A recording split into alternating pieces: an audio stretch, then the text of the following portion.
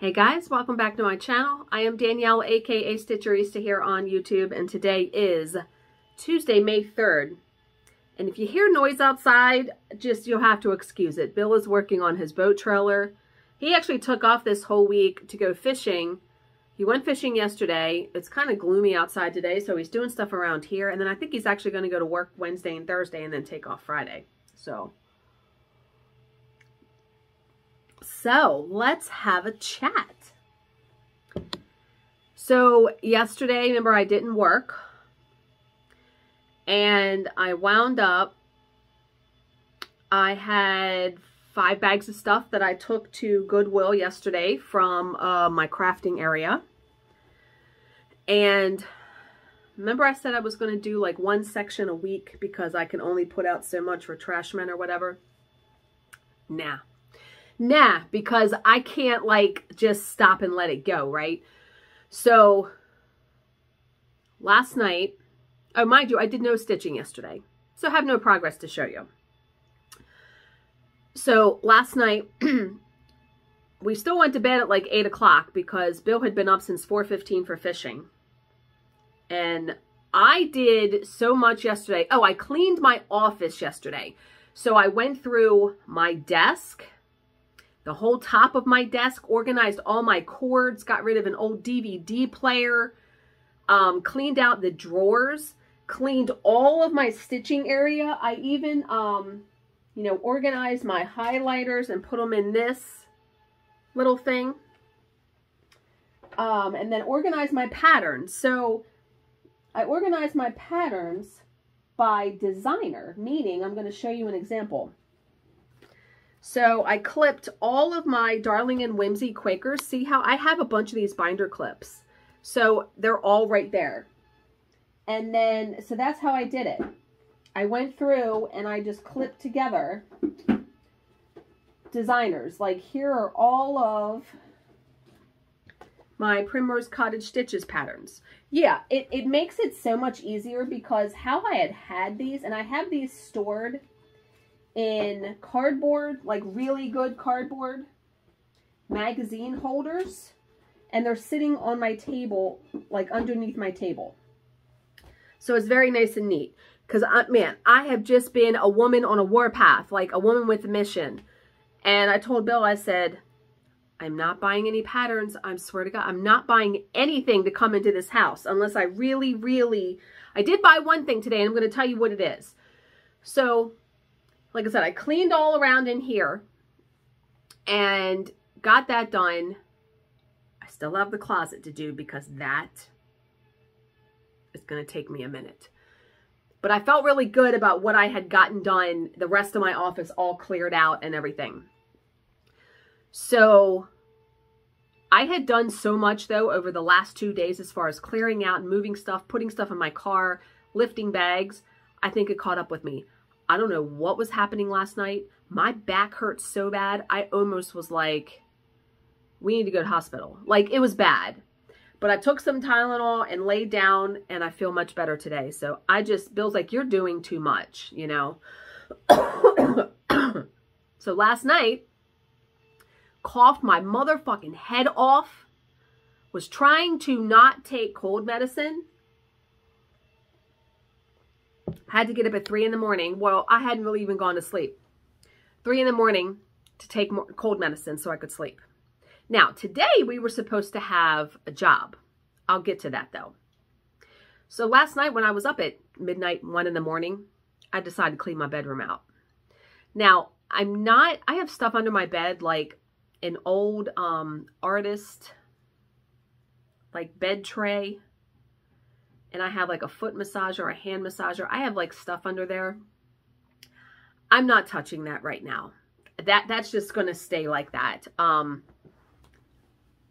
yeah, I'm not, I'm not touching that stuff right now. But I got the rest of my bedroom done. I got my entire dresser cleared off. The inside of my dresser all cleaned out and organized. I even cleaned out my vanity and I cleared out, remember for Valentine's Day, was it Valentine's Day? Not this past year, the year before. Bill got me that, or that like salon cart thing that you can organize hair dryer, curling iron, all your hair stuff. I was able to put a lot of my headbands and stuff in there because I cleared out all those drawers. And one of the silicone things that slip into, there's like a tray that pulls out that I can put my hair dryer, curling iron, hair straightener. One of those things is missing, and I don't know if it ever even came with it. So I went online today and I ordered one to fit in there because I want to be able to put my hair straightener in there. But one of the best things that I discovered last night, so I have a power strip down there for my hair dryer, curling iron, straightener, all that stuff. And because I have also vanity lights around the mirror. I had the power strip on the floor and I found myself literally every day bending over and I could feel like I was pulling something in my back, which may sound crazy, but doing that twice a day, because I would turn it on, turn everything on, then turn it off to turn everything off. I was doing that twice a day and it was starting to wear on my back, I'm telling you. And I said, you know, I have to find a different way to have that power strip up higher where I'm not bending over. So Bill and I had got this small table at um, Ollie's and I had had that next to me, but it was it was like in my way kind of. I couldn't open the drawers of the cart. So last night when I was organizing and I was cleaning out the drawers, I found this whole row of these circle stickers, like double-sided stickers, and I'm like, what do these even go to? And as I went to throw them away, I was like, oh my God, I can stick them on the power strip and stick the power strip to the side of my cart. Chef's kiss, let me tell you. I was so proud of myself because I'm like, well, is it going to hold it? Yep. I stuck it on there last night and it was still on there today. And when I got ready this morning, I just reached over and went, doot, doot. oh my God. See, that's the problem with not knowing what's in your drawers. I never know I had those stickers in there. But let's go because Man, is my bedroom nice and neat now. Got rid of like all my stuffed animals except the cabbage patch that Bill got me a couple years ago. He's like, you can't get rid of that. Really? so I was able to put my grandparents' picture on my dresser now. Like it is miraculous down there. It is so nice and neat. Nightstand all nice and... Yeah. So did that. And then this morning I cleaned like, you know, our bedroom up here, our master bedroom, which is Bill's bedroom now. I still have my dresser and stuff and I still have all my clothes up here. So I cleaned out shoes that I'll never friggin' wear. Um, and I cleaned off like, I cleaned out my jewelry. Like I have a lot of costume jewelry that's just piece of pieces of crap. And um, just cleaned off stuff and just, it is so, I'm telling you, and many of you do the minimalist thing. A lot of you commented yesterday. And it truly is so freeing to be able to open a drawer and see everything in it. Yes, indeedy. So I had another, between cleaning out the closet, old shoes, old stuff, I had three more bags of stuff to take to Goodwill. Yeah, I did that today. Because, okay, so the preface, I get up at 7.30, four and a half hours sleep. And our job was supposed to start at 10.30. So I get up and the first thing I do when I get up and I come up here is I check my boss's email because just to see if stuff happened overnight. Um, the job canceled at 10 o'clock last night. And no one saw it, meaning my boss didn't see it because you with this firm, you have to confirm that you saw the cancellation. So I text her, I text the whole team, and I'm like, tell Bill, and I'm like, well, I'm going to make use of today.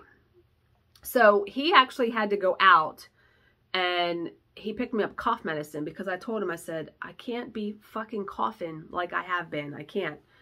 And it's by Delsym is the company. Man, it tastes really good. I was really surprised. It has like a very pleasant grape flavor. I've never tasted, doesn't taste like medicine at all. Highly recommend.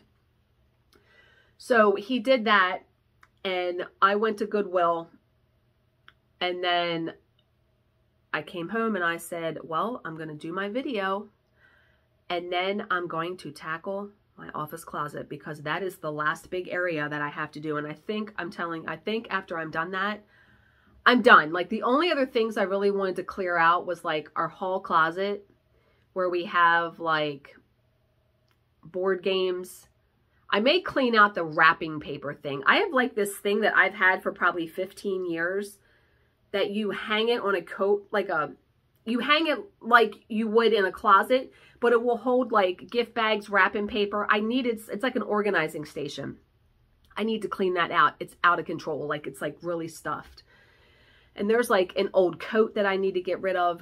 So I'm probably going to donate that and I'm going to clean out, um, yeah, I need to clean that closet out. I need to just maybe not go through the games. We just like threw shit up there. Like there's an old lunchbox up there, you know, crap like that.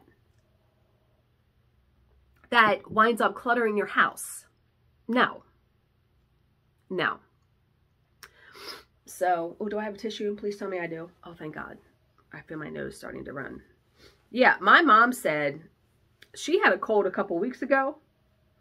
She had it for two weeks, she said. I'm like, well, I'm heading that way. Yesterday was a week. Anyway. Okay, so hurtling down that way. Um, I am going to have some stuff to sell on eBay, though, out of that closet. I know I am because I have two cable modems in there. What the fuck do I have those in there for? I have no idea. They're not even opened. Sealed. So I'm putting those on eBay because somebody could use those. And I have um, two sets of Sulky, actually, like two cases. I'm probably going to sell those. Um, my old set of DMC, I think I'm going to sell. And then I have an Elan lap stand that's not even open still in the package. What am I doing with all this stuff? So I think what I'm going to do is I'm going to put that stuff on eBay and sell it. So when I put that stuff on eBay, I will link them in the in a video so you guys can go check them out. Um, maybe not the modems, but the craft stuff I will. Yeah, there's going to be a, a, handful of things. Um, those things that, you know, that you can get. See, and that's the thing. So I was listening to the minimalist last night and they were talking about, do you donate or do you sell? And Bill's always like, you don't like money. You don't want to sell something. Do you, you have to weigh what my aggravation of listing it, monitoring it, packing it up, shipping it, blah, blah, blah, all of that versus taking it to Goodwill. Do you know what I mean? Like, there is aggravation in selling stuff. Absolutely. Yeah. So, but like the cable modems and things like that, things that are sealed, easy. That's easy to sell. You just fucking list it and yeah. All right. Now, I did pick the winners of the Stoney Creek magazines. I already contacted them. I picked the winners yesterday. And what I've started to do is you can turn off like accepting um, entries. So I do that every time I go in there. So you know when you go in there that you can't enter anymore. So one of the magazines went to Michael Jones. One went to Carrie's Cross Stitch. And the other went to Dawn McCreary. So congratulations to all of you. Thank you to everyone who entered. Um, I may find some stuff in there. Maybe I'll do another giveaway. Who knows? I know that I'm donating all the books I have in there. I don't touch those fucking books. Somebody else can read them. And our library has a big bin outside that you can just put books in. I'm going to have a lot of books for donating. And what's nice is it's going to free up a lot of space in there for me to put like craft stuff or office stuff. I'm telling you. oh my God. when I take, I'm going to try to take a small video of what that closet looks like before I do it. I opened it for Bill yesterday and I'm like, I fucking can't with that. That's the worst part. That is the worst. That's even worse than my craft area was. It really is. Although the craft area was pretty bad, like under the buffet, I just had stuff just shoved in there. And when I pulled it all out, I'm like, when you don't know what you have, yeah. And I even told Bill, so we have a utility room downstairs that has our washer and dryer and our hot water heater. He has shelves, like these big shelves all the way around, stuffed to the gills with I don't know what, stuff before I was even here. And when we buy in bulk, like toilet paper, paper towels, um, things like that, like Ziploc bags, they're all sitting on the floor. And I, I, it hit me yesterday. And I said to him, you realize if we can get in there and clear off those shelves, We can put the toilet paper and the paper towels and, on the shelf and get it off the floor. He's like, oh yeah, I know. Really? Do you know? Do you?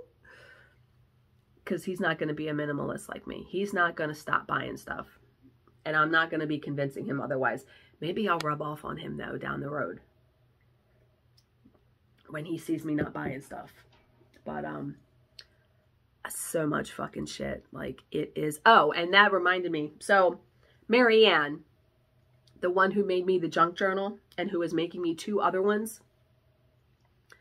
She's doing them as a gift. She's doing one Monopoly themed because I want, instead of stitching the whole Monopoly board pattern, I wanted to stitch each individual property and like maybe journal a little bit of the history of Illinois Avenue, Tennessee Avenue, something like that. I thought that'd be a cool thing. Love Monopoly, right? But the idea of stitching the whole board, but stitching each, like I could stitch each piece like on perforated paper and put it in there. Anyway, she is making me, a Monopoly themed junk journal.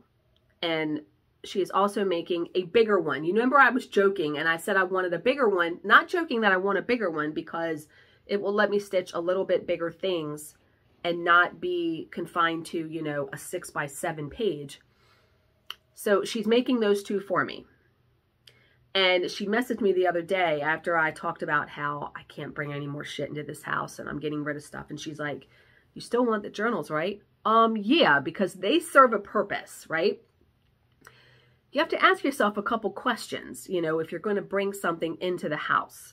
Like those journals, they're going to serve a purpose. I can put them in my cabinet, my little cart thing, but they're serving the purpose. They're serving a purpose. Um, but having like multiples of I'm trying to think of an example. Like winter hats. Like have fucking 15 winter hats. I don't need 15 winter hats. I had hats downstairs on my dresser that I haven't worn in like eight years. Why do I still have them? No. See, it's that kind of stuff. If it's going to add value to your life, if you're going to use it now, not I'm buying this just in case. Now, and thank you for the suggestions of other YouTubers that do minimalism because I've started to follow Dana K. White and I also follow the Minimalist Mom. Well, I love both of them. So yeah. Yeah, yeah, yeah. Okay. So I thought today we would do a true crime story. if I can get through it without hacking and coughing. Since I have no stitching to show you. I'm hoping to stitch tonight because Bill's going to be going to work tomorrow. So I will um, be able to get up here at 8 o'clock.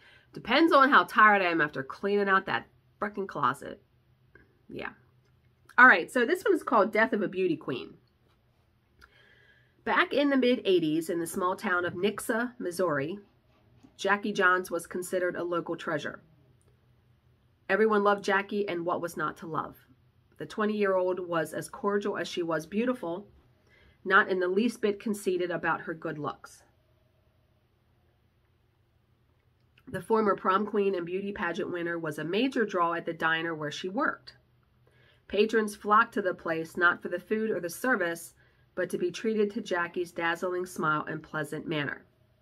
Also living in Nixa at that time was a far less likable character, a man named Jerry Carnahan.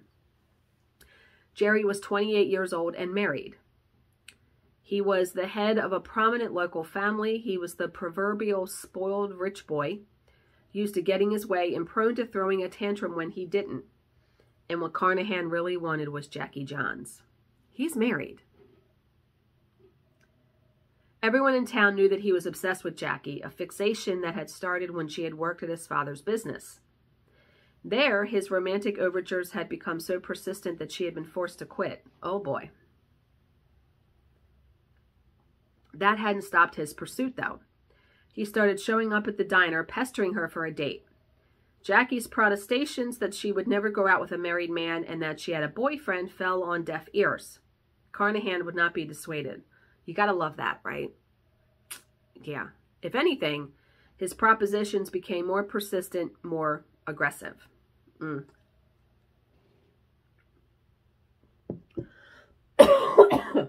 on the night of June 18, 1985, Jackie worked a shift at another of her jobs, a convenience store. She left that evening driving her distinctive black Camaro with the vanity plate Jackie-1. She was headed for her parents' home where she still lived, only Jackie didn't make it home that night. Her car was found by a truck driver abandoned at the side of US 160. Concerned, the trucker called Jackie's boss at the diner, who arrived a short while later to inspect the vehicle. The car door stood ajar.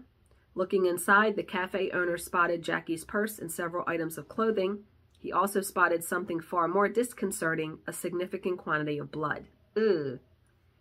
Police officers were soon on the scene and soon made another discovery, one that did not bode well for the missing woman. In the trunk of the car, a detective found a bumper jack coated with blood and with clumps of human hair clinging to it. Fuck me. It was then that police knew that something bad had happened to Jackie. A search was launched and would be tragically resolved four days later on June 22nd. That was when a couple of fishermen were casting their lines into Lake Springfield and spotted something floating in the water. Jackie Johns had been found. Mm. The young woman had died a terrible death, suffering multiple skull fractures. These would later be matched to the carjack found in her vehicle, confirming it as the murder weapon. Before her death, Jackie had also been punched multiple times in the face, her beautiful features obliterated by a flurry of blows that caused severe bruising and swelling. She had also been subjected to a brutal rape. Semen was recovered from the corpse, but would be of little evidentiary, evidentiary value until the police had a suspect in custody. And in 1985, DNA stuff wasn't that great, was it? I don't think it was. Um, but you know, whenever I hear about like the brutal murder, like this is brutal, I always think to myself, how do you as a parent, an aunt, a sister, a brother, whatever, how do you get over knowing your daughter, sibling, cousin, net, whatever, died this horrible, horrific death? I don't know how you ever can get that out of your head. I don't know how you ever get past that. Okay, so, but who had murdered the popular beauty queen? If the local rumor mill was to be believed, the police should be focusing on one man, Jerry Carnahan, right? Everyone knew about Jerry's obsession with Jackie, but the cops honed in on homed in instead on Jackie's boyfriend, only dropping him as a suspect when he provided a rock-solid alibi. Then their attention switched to regular patrons at the diner where Jackie had worked and to one man in particular known locally as a weirdo, and they have weirdo in quotes. He too had an alibi. He had been in the county lockup on the night that Jackie Johns met her grim end, so he didn't fucking do it. It is easy to speculate on why the police had not yet considered Jerry Carnahan as a suspect. The more cynical among us might suggest that the status of the Carnahan family, owners of the foundry and the town's largest employer, had something to do with it. Mm. But perhaps it was simpler than that. Rumors and conjecture are seldom considered solid evidence. Carnahan, though, was about to be thrown right into the mix because a new clue had emerged. Hmm. During a search of Jackie's car, the police had found a receipt from a local 7-Eleven indicating that she had stopped there just after 11 p.m. on the night she was killed. Now, as detectives questioned the clerk, they learned that another car had pulled into the lot just after Jackie, a classic 60s Chevy truck with a distinctive blue and white paint job. Everyone knew who drove that car. It was Jerry Carnahan. Aha! Brought in for questioning, Carnahan told police that he barely knew Jackie. Liar. Liar right from the get-go.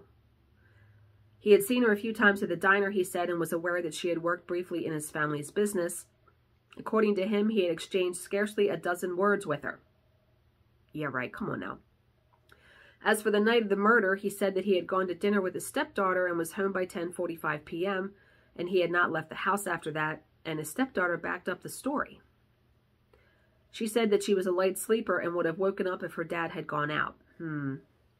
Sus. Carnahan was allowed to leave, even if the police were far from convinced by his alibi. Also suspicious was the fact that his hands were covered in abrasions and that he seemed to be trying to hide them during the interview. Remember, Jackie was punched in the face multiple times.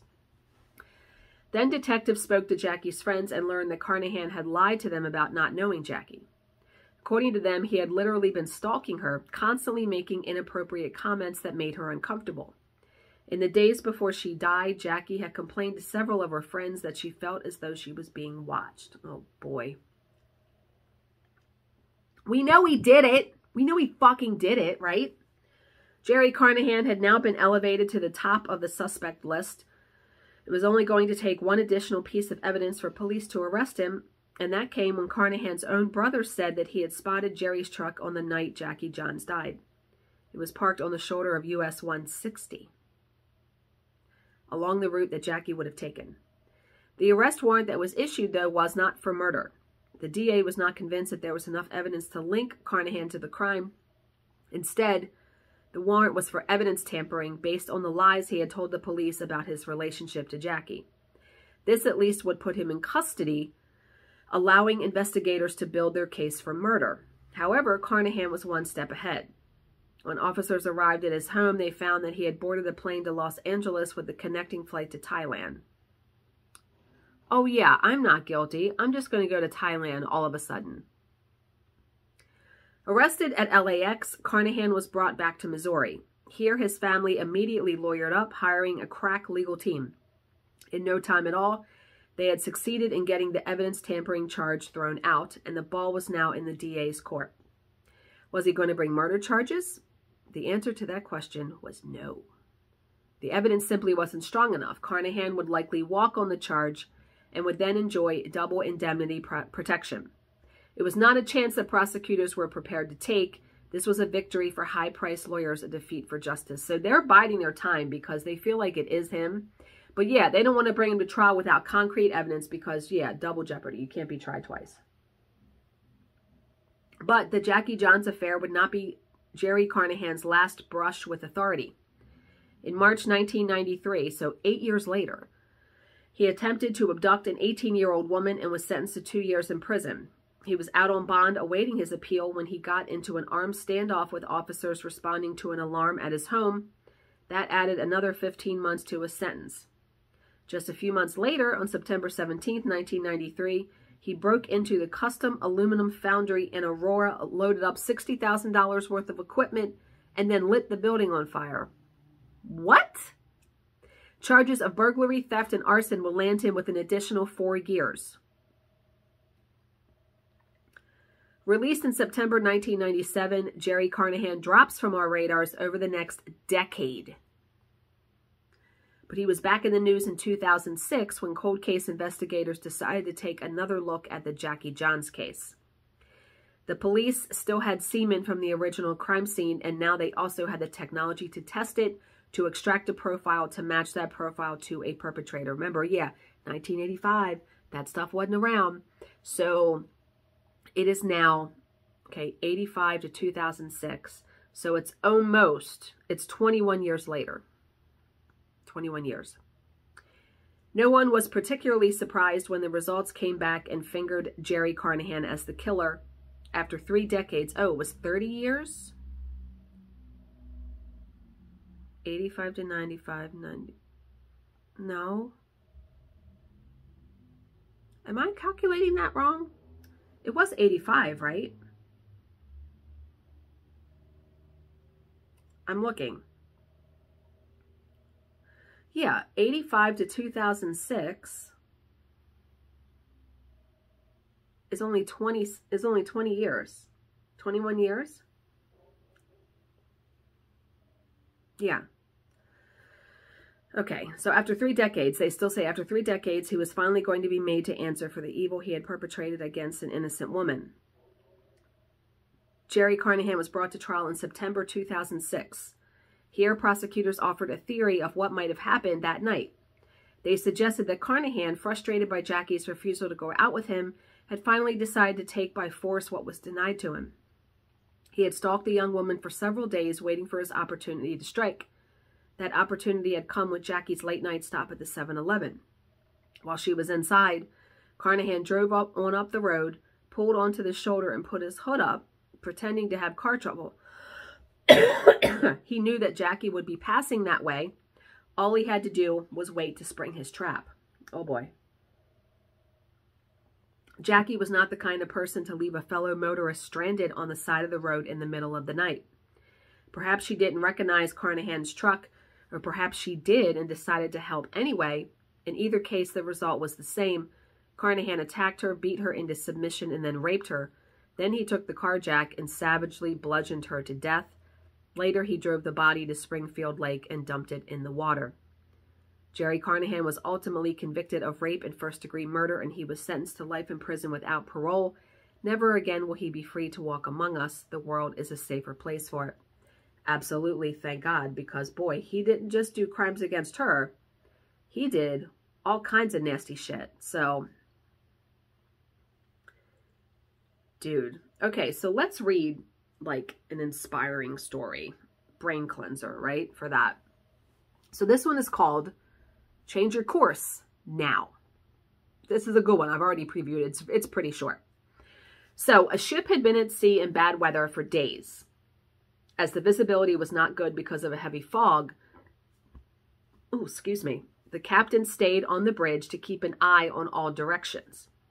Suddenly, the lookout on the bridge cried, I can see light far away. Oh, excuse me. I can see light far away. The captain shouted to the signalman, signal the other ship. We are on a collision course. It is advisable that you change your course 30 degrees. The signal that came back read, you are advised to change your course 30 degrees. the captain said to the signalman, send to him this is the ship's captain. Change your course 30 degrees immediately to avoid collision. Dude. I'm a seaman second class, came the reply. No, I repeat, you change your course immediately to avoid collision. Oh boy. When the captain became furious, the original captain, right? He said to the signalman, send this is a U.S. battleship, the second largest in the United States. I demand that you immediately change your course. Then came the signal from the others. This is a lighthouse. It's your call. Meaning the lighthouse can't fucking change its course. It's stationary. So you need to change your course.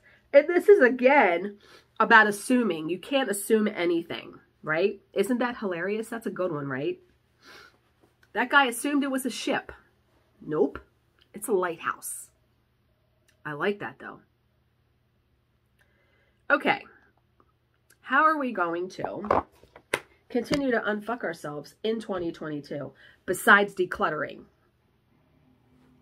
I'm on a mission, I'm telling you. I feel so good about what I've what I've done.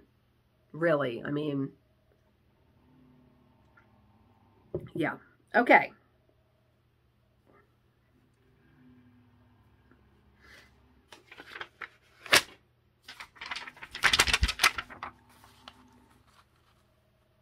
okay, this is good. Your upsets say much more about you than anyone else. Yes. How you behave when something upsets you or what you let upset you says a whole lot. And also, what also says a whole lot about you is how you behave in, in times of strife. It's easy to behave, be happy, be glad, blah, blah, blah, when things are going good. But how are you when things are going bad, right? Yeah. Like, what hill are you going to stand on? What hill are you going to die on, right? Yeah. Where are you going to take your stand? All right. So, I hope to have stitching to show you tomorrow. I have not stitched in two days. Damn this cough.